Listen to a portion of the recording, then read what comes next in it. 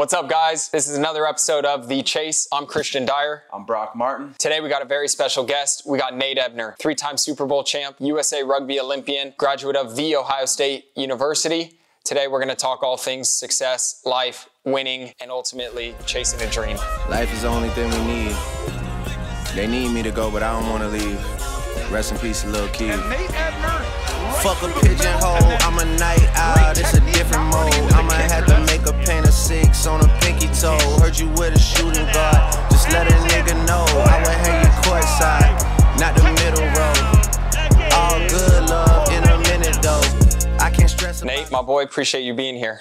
Thanks for having me, dude. Absolutely. Um, I mean, before we even start, I'm going to tell a story to you and you when I first met you, because I always knew about you just from football, rugby, um, in the sevens program, and we came back from Madrid, and you were lifting with Steve Thomason. Do you remember that day?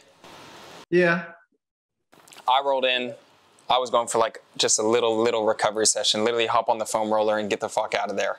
And then I see this guy and Steve absolutely grinding, like putting up some absurd weight, talking about life, talking about Super Bowls, talking about Olympics, and I was just like, holy shit.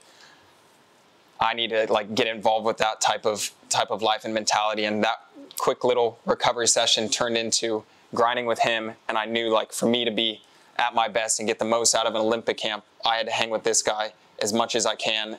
And first day of training, we became fitness partners during our sessions, and it just it elevated everything about my mentality um, in the sevens program. So that I wanted to share with you because that was the first you know time I really met you and got to know you, and I think it kicked off to a pretty good friendship. Well, I appreciate that, man. Those were uh, kind words. I'll take it as a compliment. I hope uh, I hope it, it helped you a little bit, but shit, I was uh, I was in the tank for most of that, so we didn't get to really get after it. No, I know. Unfortunately, because it would have been a, a, fun ride together. I know. But uh, I would have been on your ass.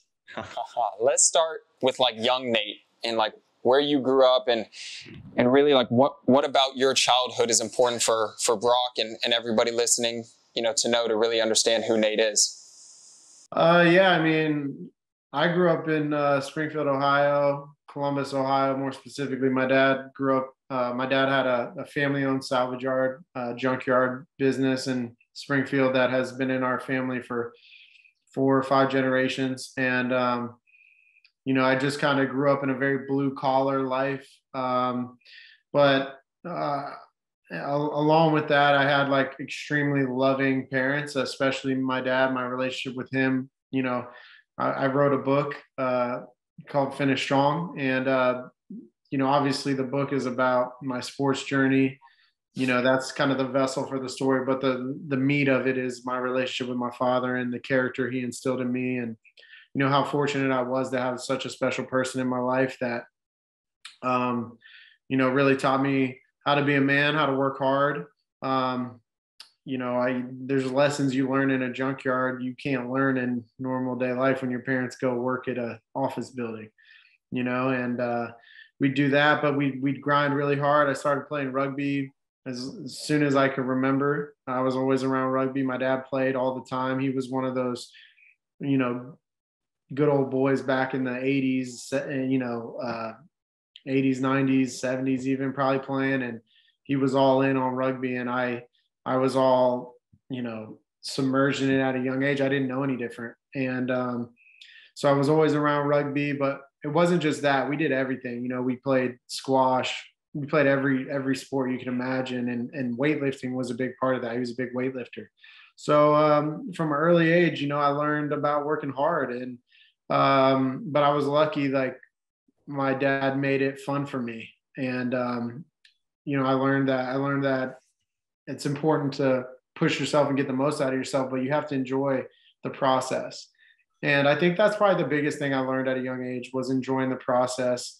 And, and the process itself is the most important thing because you know outcomes are important that's why you work hard and you strive for goals but at the end of the day you have to enjoy that journey because as someone who's been a part of the Super Bowls and Olympics and stuff, those moments are awesome, but they're they, they come and they go, you know. But you remember the journey and the teammates and the the community that you build, and uh, that stuff stays with you forever. Those moments are amazing. I don't want to take anything away from it, but um, for me to have success and longevity long term, uh, it's too hard in life to be good at something at a very high, high level if you don't enjoy the nitty gritty intricacies of what it takes. Um, you can't just enjoy, for instance, with professional sports, the moment where the lights come on. You got to enjoy the the the meetings that you spend hours and hours and hours in the the the weight room training the the on field conditioning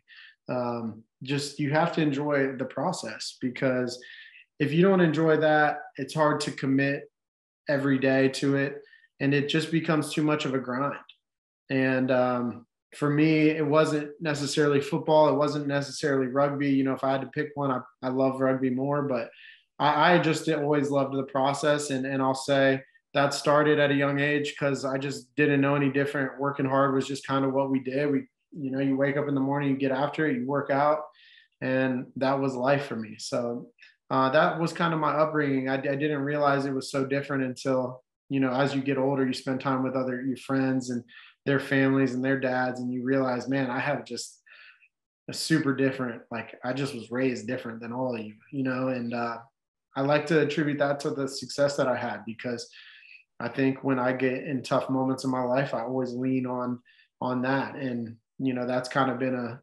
if I had one strength, I would say it was my mental fortitude, just because of what I had been through my whole life. And uh, you know, a workout uh, with the rugby team when you're dying wasn't going to break me. You know, with when I think about everything else I've been through. So um, it was always good for me to have that stuff growing up. No, that's awesome. And then football wasn't too big in your life up until really college. Rugby was really the main focus for you. But what what were you chasing? You know, early on. Well, I mean, I like I said, I played all the sports growing up. I played pee wee football, but you know how that is. They just hand you the ball and you just run around everybody, or go tie. you know. It's, it's not really football. Um, not in a not relative to like Ohio State or, or the NFL. But um, no, I was a big rugby player. You know, at, at 16, uh, I went to my first U.S. developmental camp, which turned into me making the Junior World Cup team. And I was the youngest. I think I was the youngest player in the whole tournament. And you know, from 16 on, I got very serious about being one of the best rugby players in the country, and um, I wanted to pursue a career in that and that kind of took my focus. I played basketball, I did some other sports, but um, you know, very quickly I was focused on rugby uh, at 16, 17 years old. And um, you know, just to kind of take you through my little journey, I, I a junior World Cup as a as a junior in high school, junior World Cup as a senior in high school. Then I went to Ohio State because what kid that grows up in Columbus, Ohio, doesn't want to go to Ohio State? And uh, I actually looked at Cal to play rugby, but I was like, nah, I'm not going to Cal. Should have came. But uh, I'm, a, I'm a good good mid, Midwestern boy. But um, no, so I'm at Ohio State. I played in my final junior World Cup my freshman year at Ohio State. And then I was kind of in this, you know, I'm, I'm 18, 19 years old and I'm stuck kind of done with the junior World Cups. I got like two, three more years of college and I played a season of co- like club rugby with Ohio State, and uh, you know, I just it was really frustrating to me because I was at a point where I had just played three years against some of the best players in the world. That last Junior World Cup, we were in the A pool, so we were playing South Africa, Samoa, Scotland, uh, some really good teams, and you know, I I was like, I I can play at this level, and I took it very seriously. And then you know, you kind of digress, and you're playing club rugby, and nothing against that, but um, you know the guys were more focused on on you know the the social aspect of it after the game and i'm sitting here feeling like it's 15 versus 1 sometimes. And uh, that just wasn't fun for me. I didn't feel like i was getting better and i had bigger aspirations than that. And i wasn't in a position to go play in the men's team. I wanted to get my degree. I told my parents i would and um, I, I didn't you know i i looked at my future for rugby in this country and it really was non-existent it was go play over in France. I was already getting talked to about going to France, going to France, go go to England, you know. And I'm like, I don't speak French. I don't want to. I want to live in this country. I, am a very American. Um, I'm a patriot, you know. So Uh, I started to look in other directions, and you know uh, that's when I spoke to my dad. Um, one of the last conver- the last conversation I had with my dad actually was uh, after a workout. I told him I wanted to walk onto the football team at Ohio State, and um, you know I wanted to play football my senior year um, in high school. I chose not to because of the World Cup, and my my football team won the Division One state championship at Ohio, in Ohio, which is is big football, and you know I, I, that was bittersweet for me to not be a part of that. But I don't think I had a long term goal, so it, it wasn't really the right fit. And then I'm at Ohio State. I'm hearing about how good Ohio State football players are. You know, rugby players suck, and uh, you know I could never play at that level, and I think between that, not having a future in, in rugby in this country, it was almost like a perfect storm for me to say, you know what, screw it. I'm going to go walk onto the football team and see what happens. And so I had that conversation with my dad, and he was very supportive. He was like, you know, if you're going to do this, you need to do it all in. You need to go with everything you have. And if, if it doesn't work out, um, you know, rugby will always be there for you, which it would have been. Um, but he was very adamant that if I was going to walk onto the football team, I need to give it everything I have, not kind of play rugby in the background and just just go all in. And and I told him at that dinner, like with the goal being I wanted to try to get to the NFL. Because if you can have success at Ohio State, you can play in the NFL. So that was kind of my goal. And that was the last conversation I had with my dad. He drove back to Springfield and the next day he was uh, beat to death uh, in, in the junkyard. And, uh, you know, that was the last conversation we had. And that was a tough time in my life. I dropped out of school for for the for a quarter and you know was really trying to find myself. My mom was a big part of bringing me out of that. Um, you know she, I, I, try to give her all the credit in the world and she'll still never get enough because i was in a bad place and she she put me on the right track with kind of the message that you know my dad wouldn't want to see me see this ruin my entire life and you know that really struck me and, and I changed my mindset from feeling sorry for myself for losing my my rock and my best friend and I, I kind of changed my mindset to be one of gratitude where I was really thankful for the human being that I had as a father figure in my life for 19 years. Uh, you know, people have fathers that aren't in their lives; they're still alive today, and they, you know, they didn't get as much time with their dad as I did for the 19 years I had. And, you know, guys I knew growing up lost you know lost a parent at 13 you know i had my dad in those fundamental years of growing into a man. I couldn't imagine losing him at 13 when you, you don't have a father figure. And uh, i just became very grateful for the person that i had. And i remember the last conversation we had. I told him i was going to walk onto the football team. And so that's what i did. And i got very serious uh, set my sights on, on walking onto that team did really well long story short made the team.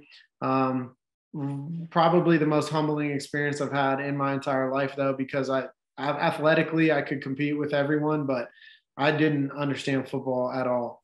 Uh, like we, I said, I played Pee Wee football, and to try to play at Ohio State at that level, you're basically borderlining, you know, professional football, and it, it it's a lot mentally. And um, so I was in a predicament. You know, I didn't see this dream of mine being one where it was a special teams role. But early on, I had to get on the bus. I had to play. I only had three years of eligibility, and that was with taking a fifth year because you know I walked on as like a sophomore, junior. So um, I I gravitated towards special teams because that was something I knew I could do. I had run down on kickoff and tackle the guy with the ball. You know, I didn't even know cover two and what checks we make versus empty and blah blah blah. So um, I became very good at special teams. And I'd say as I learned football, probably my senior year, I think I should have been starting on defense, but whatever. Um, I almost transferred, but uh, I stayed at Ohio State, and it, it was a great decision because you know, Ohio State had a good power. I, I, I played for three years, was, was a good special teams player and um, made some good relationships, put some good tape out there and had a great, great pro day and uh, ended up getting drafted to the Patriots. And um, that, that rookie year was probably the biggest learning experience I've had in my life in anything. I was all in and I learned a lot about football and I just tried to stay in the moment and grow. And you know, keep my head down and shit. 10 years later, uh, you know, I just played last season was my, my last season. My knees have kind of fallen apart. So, um, at this point, you know, I'm, I'm, closing the door on football, but I never would have dreamed having that conversation with my dad at 19 that I would have played in the NFL for 10 years. And uh, along that ride, I three Super Bowls, uh, Super Bowl wins. We had a we had four. We lost to the Eagles, but um, uh, also got to go to the Olympics. The Patriots supported me in that. Took that hiatus to go try to make the Olympic team in 2016. Obviously, I tried to come out with you. 2020, they canceled it. Then 2021, uh, just was hurt. And um, yeah, this last year has been a grind, but uh, extremely blessed. It's been a, it's been a great ride, and um, like I said, it, it, all kind of comes back to the way I was raised uh, to be able to kind of grind through anything that's thrown at me. And uh, because of that, I've, I've, been able to make a little, little, career for myself. So I'll never doubt like your tenacity, your work ethic, or really, I got no doubt you starting a new endeavor, but you walking onto that team, haven't had that conversation with, with Pops. Was there something bigger than the game to you and something that you wanted to attribute, you know, to your father? Yeah, absolutely. I mean, when I gave his the speech at the eulogy, I think that's what it's called at, his funeral. Um, you know, I, I've flashed back to our last workouts, and something he always said to me was "finish strong," um, which is the title of my book, "Finish Strong: a, a Father's Code and a Son's Path." And basically, finish strong was something he always said to me. I think specifically on the rowing machine. You know how that can go and um, he would he would just always be in my ear finish strong with with the workouts because this is those moments when you start to hurt if, if you give in to those moments you don't really have the growth that you need to have because uh, what you do when you're hurt is, is uh, the difference between being great and and just being out there and and you know that when yep. you know one of his favorite quotes was fatigue makes cowards of us all and if i can be the last one to get tired i have a better chance and so the finish strong message was was a big part of that. Um, my aunt got me a bracelet after that eulogy I gave, and I always wore this finish strong bracelet.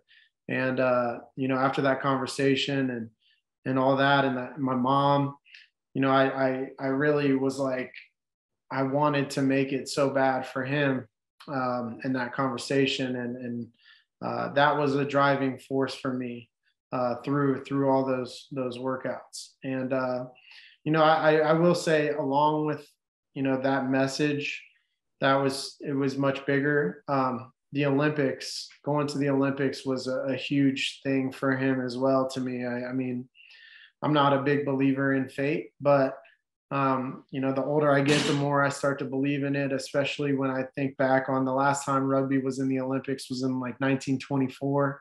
Yeah, way long ago. Well, like yeah, like hundred years ago, and here it is in 2016, and I'm 28 years old in the prime of my life, and I've somehow I grew up playing this sport my entire life. We qualify when we shouldn't have even qualified for the Olympics. Yep. And it just seems like all these stars aligned for me. And then Bill supporting me the way he did and the Patriots organization and Mr. Kraft, it was like, you know, how perfect could this be? I'm like it physically in my prime. I grew up playing this sport. We've qualified. It hasn't been in the Olympics for 100 years. It just seemed like fate to me. So that was a huge, huge part of it all. And and you know, the last thing I would say is, you know, going through a hard time like that in my life, probably the hardest time in my life, no doubt. Uh, having the brotherhood that you have in sports, especially professional sports or sports like at Ohio State, you know, for me to lean into my teammates and those workouts you know it gave me such a reprieve from the agony of you know thinking about losing you know my best friend every day and you know playing football like at a at a place like Ohio State requires so much of you every day that you have to be present yep. and for me uh, to have that to to have something that demanded that much of me every day uh, really kept me straight because I was in a bad place and and you know having that every day to look forward to and knew I had to give all myself to those workouts or to studying or whatever. Um, God, I, I mean, I don't know if I make it if I don't have football at Ohio State. So I'm extremely grateful for that. But um, no, I mean, ultimately, yeah, it was much bigger than just trying to put an Ohio State jersey on. Yeah, no doubt. And now you're at Ohio State, arguably a little undergun in, in football IQ and experience because all these guys there are four or five star recruits, you know, best in their class. So you're coming in. What are those little things that you had to do to separate yourself, you know, exceed expectations and put yourself in the best position to get drafted? That's a good question. Um, you know, for me, you know, it's tough being a walk on. It's tough being a preferred walk on, you know, because you're not on scholarship, but they want you there, but you're not on scholarship. And then being like a true walk on, like me, where you do a walk on workout, you know, you spend two weeks doing walk on workouts that are those walk on workouts were some of the hardest things I ever did. You know, there were like 16 of us that made the f- first walk on tryout. But by the time those workouts were done, there was like four of us left because everybody quit. And, um, you know, they just treat you like they really find out if you really want to be there, you know, because they don't need you. And, um, you know, for me, I really realized I'm going to have to like scream and grab and get some attention from these coaches because they're, they're coaching their five star recruits. They're coaching this young guy that's going to be the next superstar. They're not worried about this, you know, junior walk on that's never played football before, trying to get him to be good. They don't see me as a role player, right? So, um, I think for me, it, it was about trying to get that attention. And I tried to do it in every single thing that I did. It was, you know, we had weight room workouts where we had leaderboards on like 225, a vertical jump. And I was like, I'm going to be on the top of the vertical jump. I'm gonna be the top on the broad jump. I'm gonna have the best 225. I'm gonna have the biggest squat. I'm gonna, and so when someone looks at that board, she's gonna say Ebner on everything.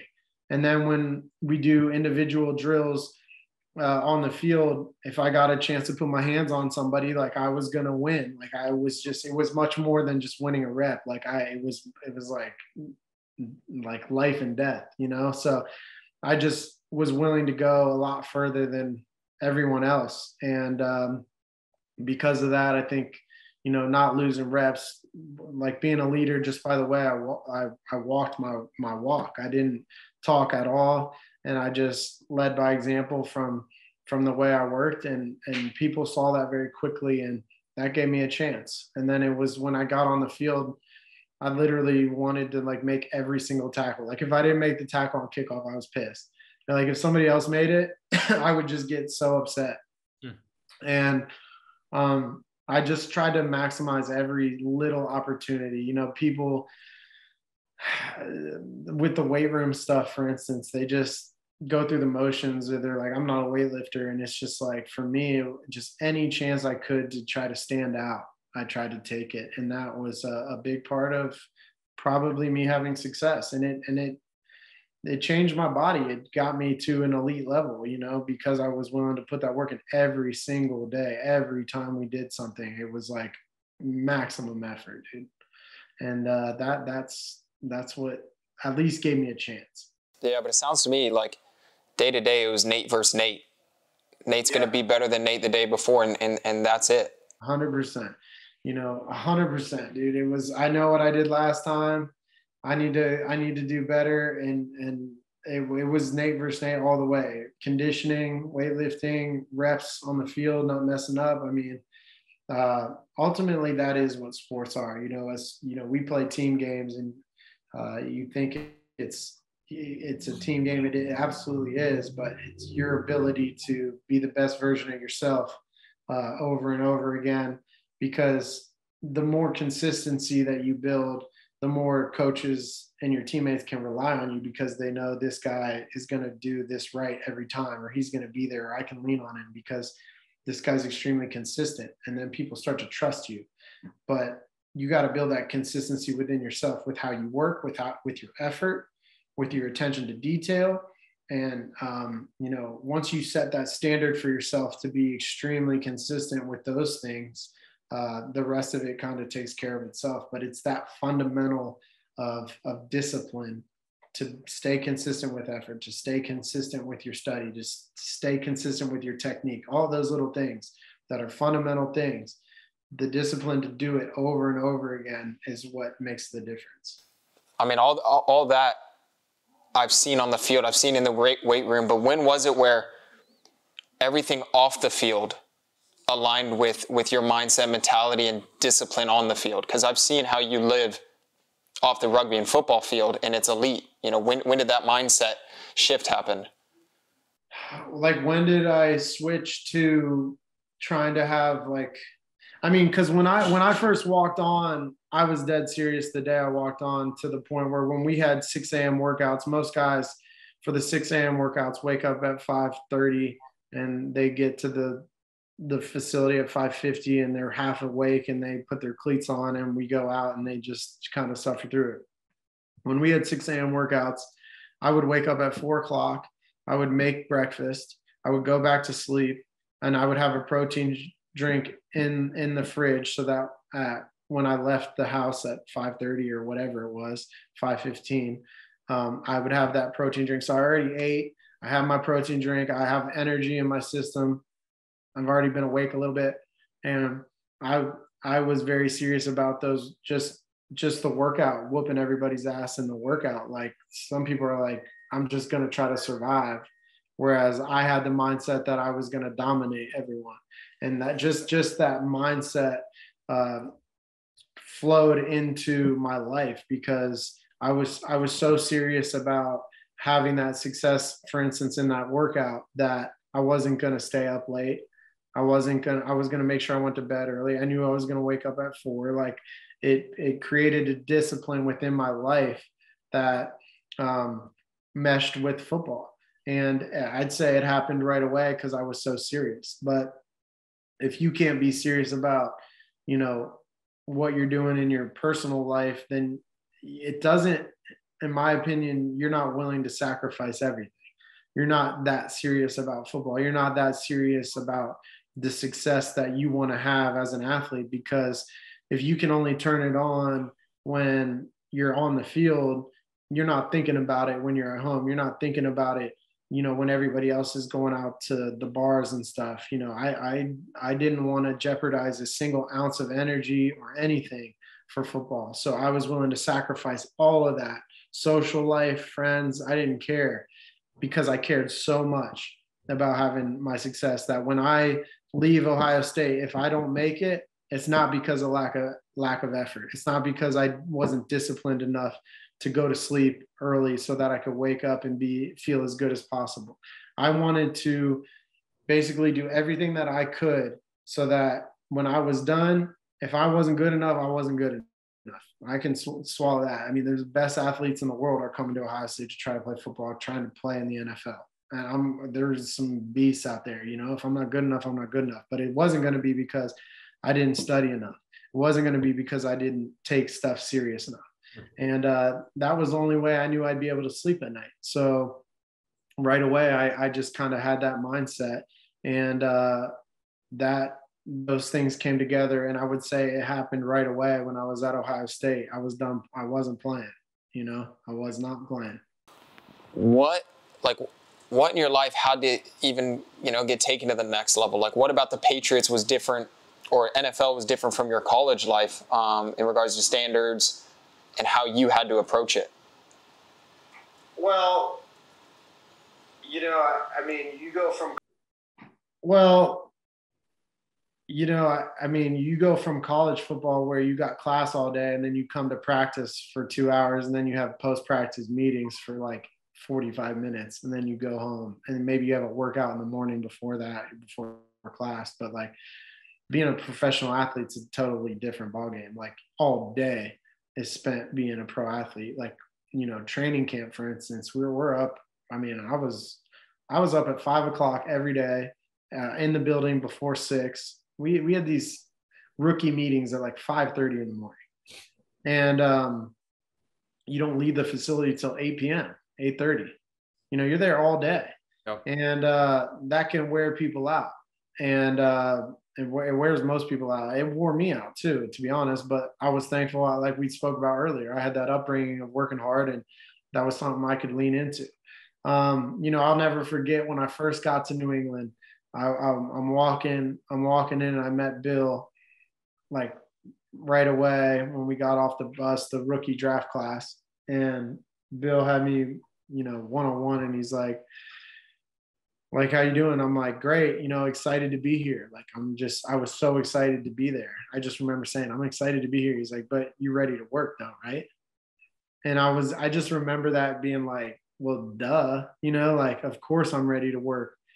But then like after after seeing the work we really did i'm like okay he wasn't playing about the work. Like we really work and uh you know, I think a lot of guys think they're drafted and it's done with, right? And uh, you learn very quickly that it's like, man, you got whatever you think. You know, his favorite line to guys was, you know, you haven't played a, even if you're a first round draft pick, you haven't played one snap of football in the NFL. Like, what makes you think you're you're gonna you know dominate this or whatever. He'd love to say that. You're gonna have one snap. You're gonna have one snap of, uh, of, of NFL football, and you just learn very quickly. Like it's it, you got more to learn that rookie year. I learned more about football. Uh, I learned more about hard work. Um, you know, I thought I knew about hard work. I, I think I did more than most, but Bill Belichick uh, really drove that home for me. And uh, there's no greater example of hard work than him because, you know, as someone who was so demanding as he was, he walked the walk too. I mean, the guy was the first one in the building, the last one to leave. He was he was obsessed with football and he worked extremely hard in his role. And um, you know, for a coach to sit there and demand that of his players, but not work hard himself, you know, it's it's hypocritical. And he was not that. He was he was amazing. And it was easy to fall in line and, and do your work when when the head guy's doing it. And you got guys like Tom Brady who work extremely hard every day. And uh, you you learn very quickly all all it is is is coming to work every day and trying to get a little better. And if you can just keep that mindset and stay present every day and and not let it grind the grind wear you out but just be present and just work on like we spoke about earlier just beat yourself get a little better every day. Um, you know from from day one as a rookie to year six or whatever year you want to say. I mean, just just leaps and bounds, just a different player, and um, and that starts with with coming to work as a, as a rookie, and and that rookie year was for me uh, what made the difference because I was willing to sacrifice everything and put all my time in. I learned a lot about football. I became someone that was reliable. That you know, Bill had no worries if Devin or Pat Chung got hurt. I would go in and handle handle my business because I knew what I was doing and a little raw, but like I would, I was good. I was a good tackler I and I knew my job. And um, when you, I had that reliability as a, as a backup, but then I was like one of our all-stars on special teams. You know, I had a role on the team and I just had to do that every year. And I worked extremely hard as a safety to try to be the starting safety because I, in my mind, I believed I could be.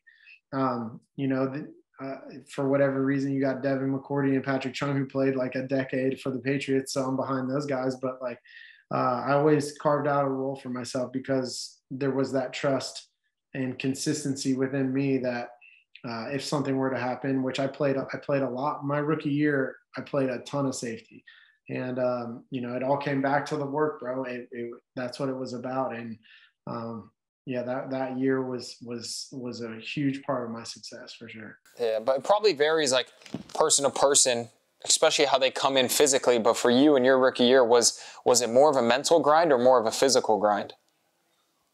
Um, I think it was more of a like I would say probably mental because it was just that full day of work. You know, it was like it was it was this like not not you're not gonna get eight hours of sleep and you can take a nap in the afternoon. Like it was like, you know, you're gonna you're gonna get minimum sleep and then you got to come into these meetings and be locked in and it can be monotonous and it can be repetitive. But like what can you pick out uh day 60 compared to day one that you might be hearing the same thing, but can you find something new to to grow on? And uh, you know, you think about the installs we would do every spring because you start at the basics like that's kind of football is kind of like a annual thing right every year is a new year and you start in the spring and you install basics and after year three four or five you're hearing the same things it's like what can i learn that i I missed. You know, even though I feel like I know this, how can I know it even better? Uh, how can how can I get to the point where I can teach this myself? And uh, it's just that constant battle to stay present. I say that a lot because it's very easy to be in those meetings and act like feel like you've heard it and just kind of space out. Uh, but to, to to fight to stay present and hear things that you've already heard, but maybe pick up the little nuances. Um, I think that was the difference maker for sure.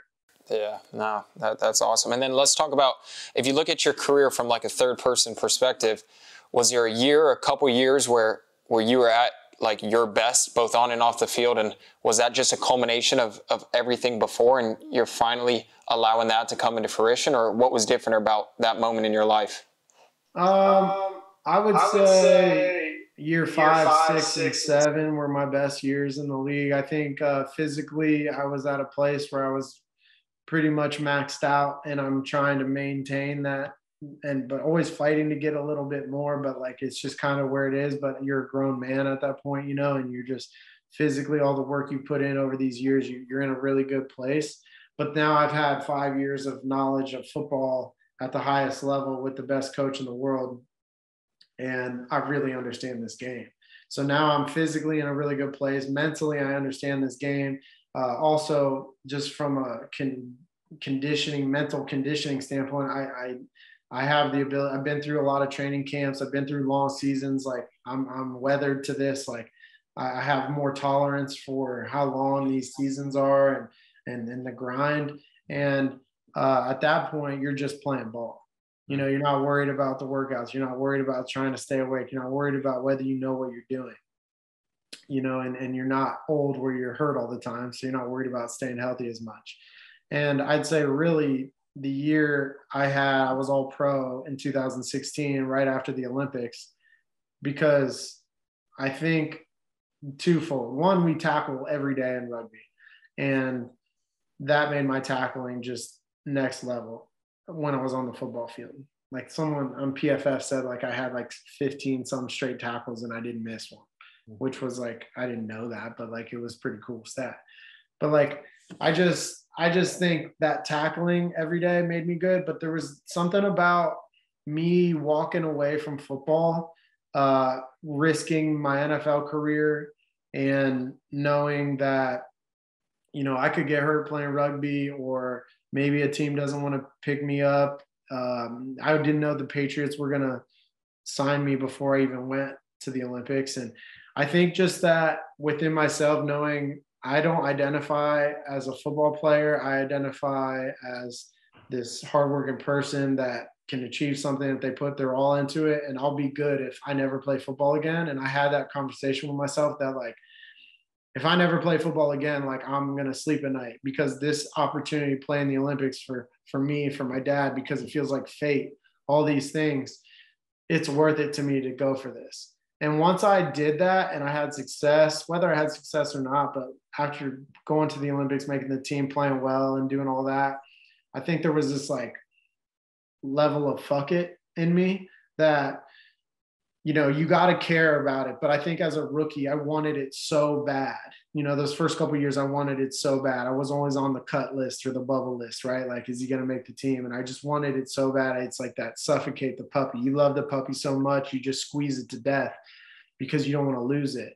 But like, I think after that rugby experience, I really let go of that. You know, if this doesn't, if I don't have this, I'm okay. And when I had that freedom inside of me, I just played at another level.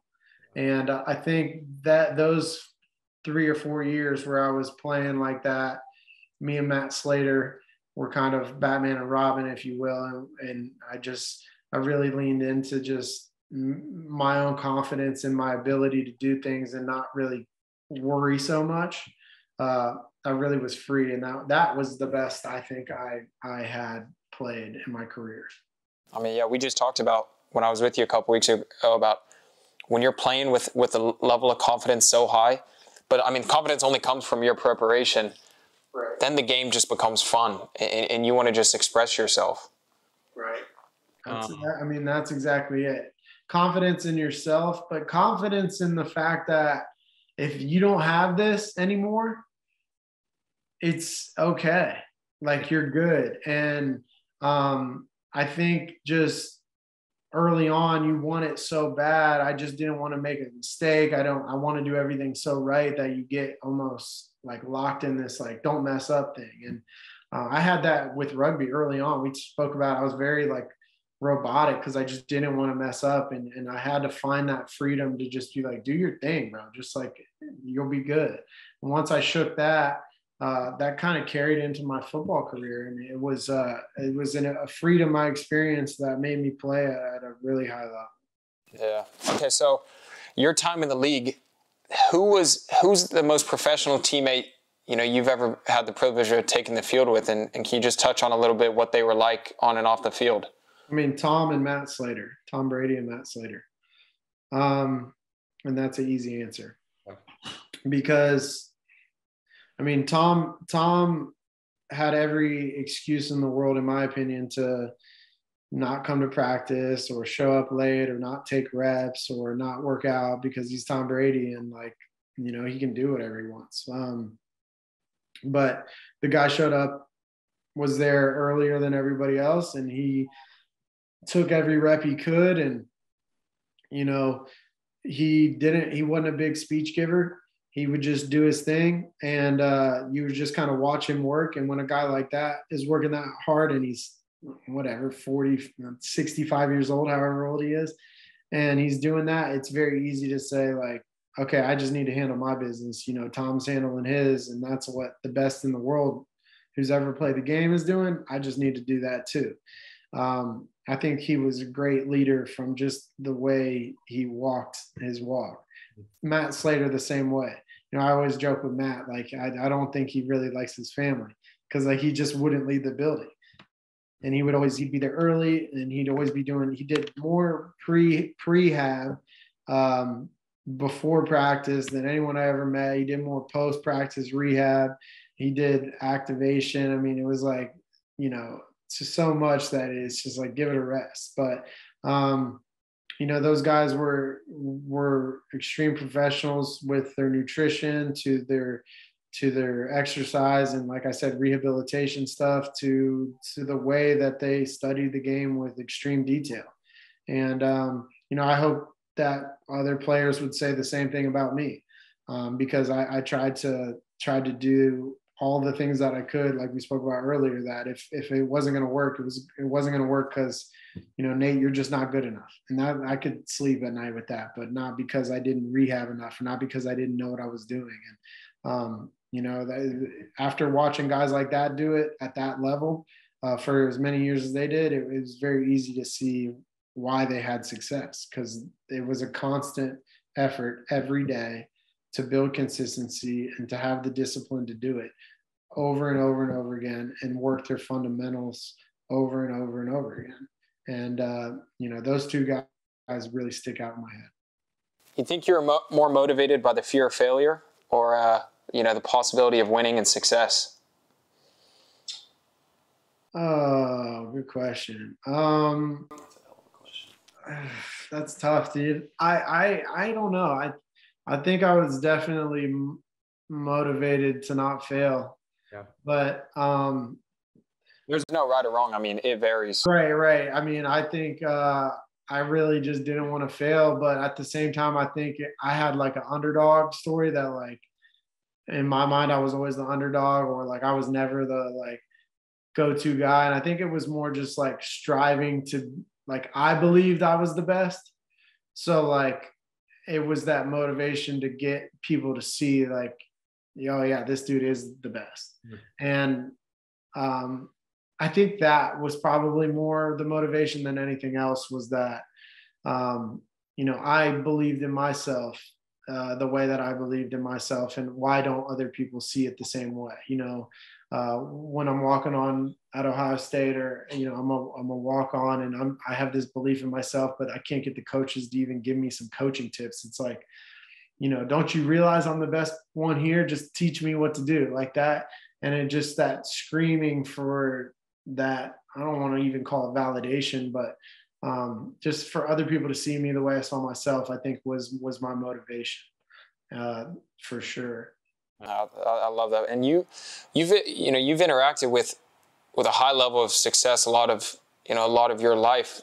But what what does success mean to you? Um, you know, for me, in a in a very broad sense, success is setting a goal, sacrificing everything necessary um, that you can think of that might get in your way and then doing everything you can to make it come true. And um, whether you actually have actual success in that um, i don't think that matters. Uh, i think it's more the personal goal that when you look back on your efforts you can say i genuinely did everything. Yeah. and um because sometimes shit's out of your control. It just doesn't work you know? Injuries happen uh just things happen. But when you can be honest with yourself with no bias at all and look back and say i did everything. I there wasn't there's not one thing i can look back on and go i could have done this a little better. Um when you really do everything to try to achieve something you sacrifice everything in your life to make it happen I mean, that's truly committing uh, to, to make something happen. And, and whether it happens or not, there are some, like I said, outside forces that kind of dictate things.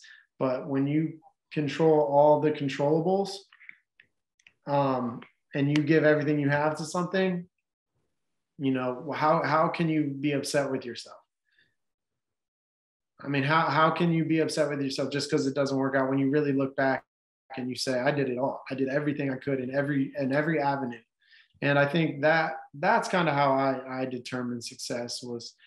And, and ultimately, when you do things like that, you you typically reach your goal. Um, when you, you, you don't reach your goal when you get sidetracked you don't reach your goal when you you don't have the discipline to do it every day you don't reach your goal when you're you're not not fully committed and uh, i think just fully sending it, fully committing yourself, that is what it's about. And that's how I define success. And ultimately it's equated to success for me when I, when I just every, nothing matters more than, than the goal I'm setting.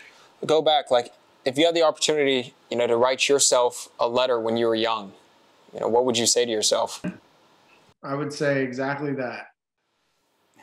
So you have no, you know, you you wouldn't change anything.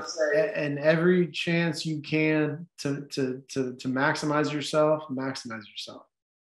Whether it's your sleep, whether it's your nutrition, whether it's your lifting weights, whether it's your rehab, whether it's your stretching, whether it's your studying, whether it's your eye-hand coordination, catching the ball, you know, whether it's your footwork, eh, you know, whether it's your attention in meetings, like every every aspect of life every aspect of whatever goal you're going for, um, maximize it. Yeah. And, uh, you know, I did that. But that's what I would have said to myself because ultimately I believe that's the reason why I had success was because I did those things. I didn't, I didn't feel sorry for myself in any moments. And if I did, I was quick to shut that up and just get back to work. And um, I think, I think, uh, I would say that, and I would say enjoy the process. So I would say and enjoy the process because there's so much time. I mean, especially when I think about football, like rugby too, but like really with football, like you only play 16, 17 games a year. And those games, 16 or 17, I mean, we play six rugby games in a weekend. You know what I mean? Like you only get so much time on the field. There's so much time as a professional athlete that's spent not being on the field. So if you're only good and you're only at your best in those brief moments, like, are you really maximizing yourself?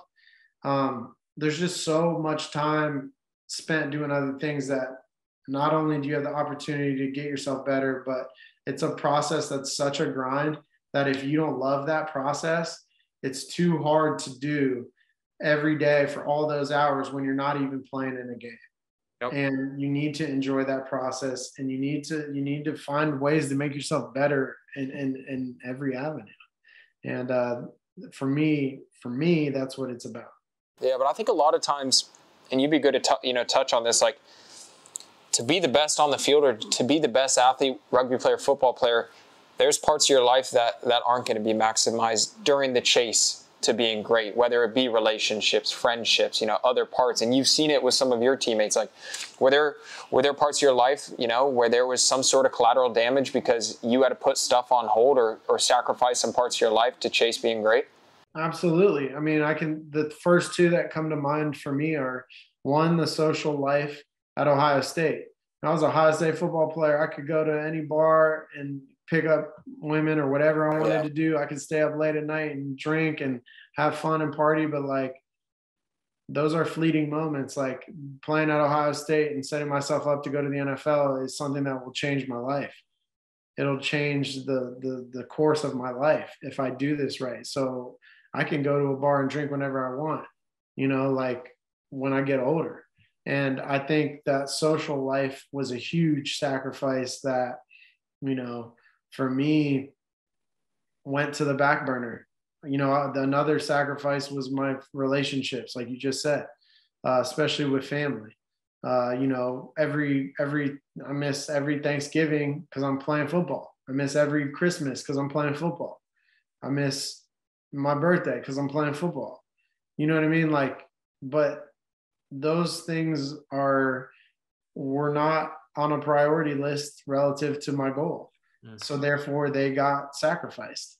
And uh, you need to be willing. When I say sacrifice everything, I'm talking about everything. I'm talking about relationships. I'm talking about you know if your family loves you, they'll be there, and they need to they need to respect what you're trying to do.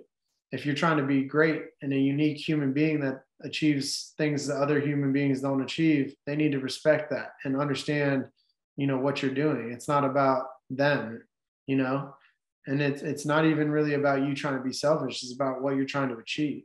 And um, you know that that definitely was something that takes a hit but uh, what's more important to you you know? Um, that's what you have to ask yourself. And and for some people i understand you know if your family's more important than than that kind of a grind to have that success then you know you'll have your family. But you you won't ha- you might not have the success of playing in the league or winning Super Bowls or whatever it might be that you decide to do because that wasn't a sacrifice you were willing to make that you probably needed to make. And it comes back to sacrificing everything that could be any type of a distraction to you. Um, and, and really, like I said, putting, putting it all into moments that were going to help grow you as, as, as an athlete in my case, um, to make you better and, and everything else just has to take a back seat and that's the way it goes. And that's unfortunate but it's i mean god when i look at the sacrifice tom makes and the, that he's made for 20 however long years i mean it's just uh it's crazy to me but i think people in his life understand it. And uh that's why he he's great because he wasn't going to let anything disrupt him from being the greatest. And that's that comes with sacrifice. Yeah but everybody's always saying happiness, you know, key to life is having balance in your life. But sounds to me that that's just BS, and and no no high level person or athlete or anybody who's done something unique has taken that approach. That's what I was gonna say. Who who's saying that? I think it's everybody who's mediocre. Everybody, everybody, you know, and and you know they didn't they weren't willing to sacrifice it, and they didn't have the same success. Um, you know, I, when I think of greatness, I think of sacrifice. I mean, with greatness comes massive sacrifice. And when I look at some of those athletes, those players that I've played with, I mean, when I think about the rugby team, uh, the Olympic team, the, the sacrifices those guys make, not only with their families, but with their relationships and with, you know, just financially their lives, their livelihood. Uh, they make extreme sacrifices uh, to, to be a part of that team because they want to be great. And, um, you know, the people that are saying that don't have the same experience of playing in Super Bowls or playing in the Olympics or, you know, doing something extremely unique that a lot of people wish they could do, but weren't willing to sacrifice those things. And, um, you know, ultimately, uh, you know maybe some people can can have success without those types of sacrifices uh, i wasn't willing to find out i wasn't willing i wanted it so bad that uh, you know that those sacrifices had to be made, and they were. And um, you know, I I don't regret any of it. And um, you know, like I said earlier, the, the social life, I'm, I'm retired now. I can go to the bar whenever I want now. You know what I mean? Like I can, I can spend time with my family and stuff. So, uh, yeah, I don't pay much attention to, to that stuff. And, um, like you said,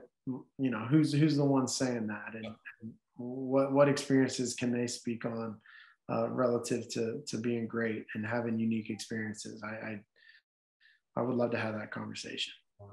So, I mean, you just said you're retired, but hopefully we see you on a rugby field at some point. Now, now that that you know chapter of your life's over, what are you chasing? What are you trying to accomplish? And and and where in your life are you still trying to grow and and and develop? Um, well, I mean, as you know, I had some surgery. The wheels fell off for me a little bit. Um, so I just had a surgery about seven months ago. I'm, I'm, starting to turn the corner on that, but it's a cartilage repair. So it's nine month to 12 month recovery. It's just what it is. Okay. I actually have to have surgery on my left knee here in two weeks. So um, I'll kind of be in that same boat. I think for me, we talked about identity earlier and, you know, you and I spoke about it a little bit. I don't really identify as like a professional football player. I don't really identify as a, as a rugby player. You know, when I think about football, when I when I got drafted the Patriots, all they did was show rugby highlights of me. So I was always the rugby guy. And then I go to the Olympics and I'm like, oh, I'm the NFL football player, you know. And then so I was never like, and then I go back to football and I'm I'm the rugby guy. Like I just never was in that box, and I'm thankful because I never really identified as as those things. And and when I first set out to do this journey, I never really imagined I'd play this long. Um, and I did. I just my personal identity wasn't that of like a, a NFL guy, and um, because of that, I've been. It's been very easy for me with the way my body's felt, and just kind of closing the chapter on football to really close it and be done as a player. But what I do identify as is, is a physical person. And we spoke earlier about my upbringing. I was playing all the sports. We did all kinds of activities. I was working in a junkyard, like very active person. And and with without you know the surgeries that I've had and having to be kind of sidelined and not do too much, um, I'm finding myself with a lot of a lot of extra time. And uh, I've noticed my whole life I've spent you know doing stuff physically, and so I'm kind of stepping into a world I haven't really been into, which is um, one more where I'm spent using my brain and not you know running sprints and lifting weights all day. Um, so I'm I'm kind of finding uh, out about myself, if you will. I, am kind of, you know, I told myself after 10 years in the league and, and everything I've done, I, I, I owe myself a year of, you know, reprieve where I can come up for some air and kind of find out about Nate. You know, what do I like? What makes me tick? That's not football. That's not competing. That's not, you know, making my body burn. Um, and you know, I'm looking into those types of things. Um, I'm looking into what I'm passionate about because um, you know one thing my dad always said to me was like you you work so that you can live life you don't live life to to work. You don't wake up every day just to work. And, and i try to remember that because i'm such a hard working person that i feel like if i'm not working then i'm not doing something right. Um, but I, i've kind of told myself i'm going to find something that i'm extremely passionate about and that's how i'm going to spend my time is doing stuff that drives me, that makes me feel good. And, um, you know, right now is kind of that process of, of finding out about myself and um, diving into a bunch of different things and, and seeing how, you know, how it makes me tick, how, what, what in the world brings out that competitive uh, fire in me that, that getting on the line and running sprints did or playing in a football game did, you know, and will I ever find that? I don't know it might be different, but um, something that makes me wake up every day with with uh, incentive and passion and drive. Um, that that's kind of what I'm I'm, I'm tapping into. So um, it's it's kind of a learning experience right now, if you will. It's it's a new chapter, and um, it's it's kind of been fun to to do some other stuff. Yeah, but you were in such like that athlete grind mode for so long of your life chapter's over, you're into new ventures, you know, you're learning all these things like you just said. But what sort of challenges are you facing? You know, you're having to build new skills, meet new people. You're diving into uncharted waters. You know, what are the challenges? Um, I think the biggest challenge is, uh, you know, the discipline to to do things that I don't know anything about to just see if I like it. Um, the discipline to sit on a computer and and go through emails and have conversations that in the past, you know, I wouldn't spend a lot of time on. Um, uh, but I think it's the, you know, for me, it's it's been I've always been a very disciplined person, but it's always been so focused, you know, on on a workout. So I got to go to sleep. It like kind of makes everything align itself when you don't have anyone to answer to. Um, it's like how do you instill that same discipline in your own life so that you're productive and if that pro- productivity is revolved around me finding out about myself then i need to be disciplined and and diving into those things not just do stuff that i like to do right? Um, that i know i like. Because if we're trying to find out about myself i need to spend time in different things right? Um, so i think the hardest thing right now is just the discipline to to wake up with the the mindset that you're going to do something new today and you're going to spend time in it. And um, you know build that consistency kind of like we talked about with sports but build that consistency in my work to to really really give something all my attention to to to see see how it makes me click and uh, i'd say that's probably the hardest thing right now. You've been on so many different teams whether it be eight different teams within the patriots guys coming in guys coming out with the giants us 15s us 7 usa 7s what about the best, you know, teams that you've been on, the ones that thrive, um, the, the most successful team separates from the unsuccessful ones? Just to try to make that a short answer, um, I would say the culture within the team that every single person in the team puts the team above themselves. Um, like genuinely above themselves, not I'm not getting the ball, so I'm pissed, or I'm not starting this week, so I'm pissed. But like when I was on good teams, Super Bowl teams, uh, even you know that Olympic team, I just thought we, as a whole, we wanted to win so bad. You know, guys, you know, you you lose that selfishness, and you know, I think the difference between teams that went to the Super Bowl and won the Super Bowl versus teams that were good um, was uh, that little bit of selfishness that creeps its way into your culture and wherever along the line just a guy or two feels it's okay that they can they can be selfish. And ultimately that selfishness trickles into everything. It trickles into how you work in the weight room because you're you know you're sore this week so you don't have to do what everybody else does. Or you know um, you're not you're not going to start in a certain package on defense or whatever. So you're you're just going to not study like you typically do. And then you know somebody gets hurt and now you have a role that you didn't anticipate you having and you're not prepared for it because ultimately you were selfish because you knew you weren't going to play so you just didn't put as much into it.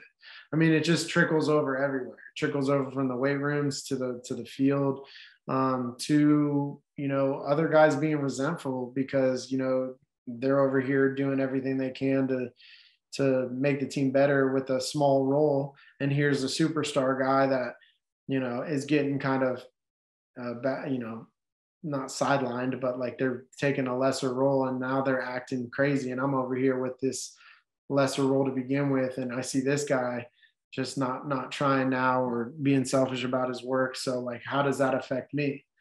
But when you have really good teams that you got guys like Tom Brady that are coming in every day, working hard. You got everybody believing in Bill and what we're doing, and uh, whatever role that they have, they're going to try to do it to their best of their, their ability, and they're preparing for roles that they they could end up having if someone were to get hurt or something were to happen in the game. And everyone is so focused on trying to make the team better and putting their own pride and their own feelings aside because they need to do what they need to do for the team.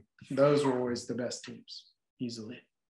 What an incredible conversation with Nate Ebner. Um, that that blew my mind. Some of some of the stories that that he shared, especially his time walking on to, to the Ohio State University and their football program where that's that's an elite program. And for a guy to come in, not really a recruit, just a preferred walk-on, and make the strides that he did in, in such a short amount of time is just a true testament to, to what he believes in. And that's loving the process, being obsessed with the journey, focusing on the day-to-day things, you know, the small wins. Um, if that story doesn't doesn't shed some light onto how important the process is, I don't know what else will. Um, so I hope you guys enjoyed. There's going to be so many more conversations like this. Follow Nate. His journey is just getting started as he's diving into life after sports. Um, and like, subscribe, comment to this podcast, this show, because there's much more where it came from.